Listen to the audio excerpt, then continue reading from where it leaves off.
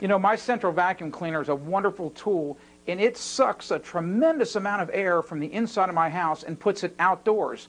But what happens? How do I get that air back inside the house?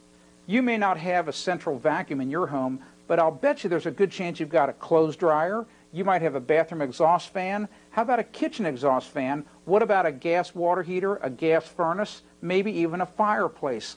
All of those things, when they operate, they consume air out of your home. And if you've got a home that's a modern one, one that's built maybe within the last 15 years, they're very tight. You can actually create a situation called backdrafting. This is a handy item that provides the makeup air you need in your home. It looks a lot like an oversized dryer vent.